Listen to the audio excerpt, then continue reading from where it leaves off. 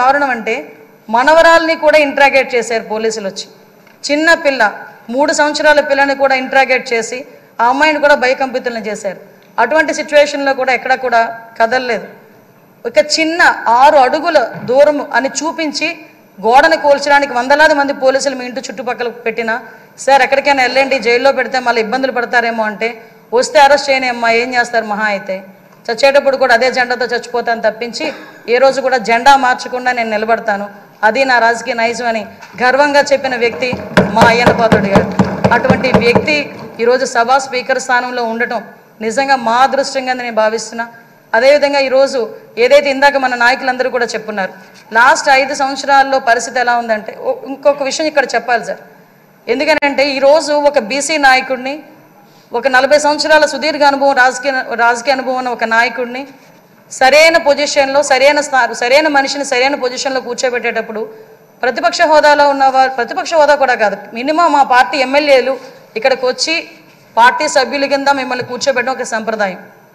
సాంప్రదాయాలకు విలువిచ్చే ఒక పార్టీగా సాంప్రదాయాలు విలువిచ్చే అధికార పక్షంగా నిన్న కూడా ప్రమాణ స్వీకారాలు చేసేటప్పుడు పదకొండు మందిలో ఒక ఎమ్మెల్యే మాత్రమే జగన్మోహన్ రెడ్డి అన్న వ్యక్తి అతనికి ప్రతిపక్ష హోదా లేదు. అలాంటి వ్యక్తిని కూడా సీరియల్ ప్రకారము ఆల్ఫాబెట్ ప్రకారము పిలవకుండా ఒక గౌరవ మాజీ ముఖ్యమంత్రి అన్న ఒక హోదాలో మనం పిలిపించి మినిస్టర్స్ తర్వాత అతను ప్రమాణ స్వీకారం చేసే అవకాశం ఇచ్చాం. అది మన గౌరవం మన సంప్రదాయం. అది కాకుండా ఈరోజు అటువంటి సంప్రదాయం ఎందుకు వాళ్ళు రిసీవ్ చేసుకోలేకపోతున్నారు? ఈరోజు ఒక బీసీ నాయకుని ఆయన రాకపోతే పోయాడు. ఆయన పులివెందులు వెళ్తాడు ఎక్కడికి వెళ్తాడు.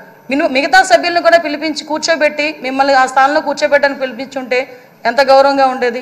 అంటే వాళ్ళకి గౌరవం ఇచ్చి పుచ్చుకోవడం కూడా చేత కాదన్న సంగతి ఈ ఒక్క సభ మొదటి రోజే మనందరికీ కూడా అర్థమైంది. నేను ఒకటే అప్పీల్ చేస్తున్నాను సార్ ఈ సభలో ఇంతకు ముందు జరిగిన అవమానాలు కానీ ఏ ఆడపిల్లకి కూడా ఇంతకు ముందు జరిగిన అవమానాలు కానీ ఏ ఒక్కరికి కూడా ఆడపిల్లలకే కాదు ఇక్కడ శాసన సభ్యులకి కూడా ఎక్కడ కూడా ఎటువంటి అవమానాలు జరగకుండా చూసుకునే బాధ్యత. ఎందుకంటే నాయకుడిగా నలభై సంవత్సరాల సుదీర్ఘ అనుభవం చంద్రబాబు నాయుడు గారి కంట కన్నీరు చూసింది ఈ అసెంబ్లీని.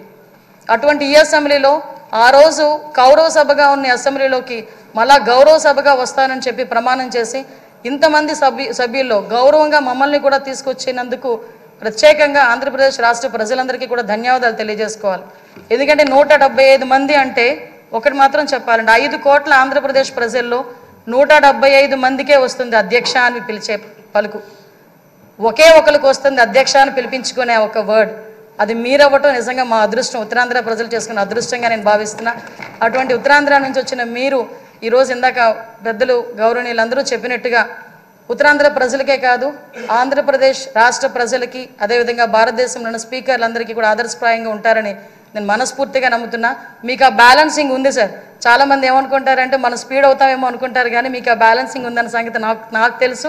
ఎందుకంటే మిమ్మల్ని అతి దగ్గరగా మీ కుటుంబ సభ్యురాలుగా నన్ను ఎప్పుడు కూడా ఒక కూతురుగా చూసుకుంటారు. అమ్మ కూడా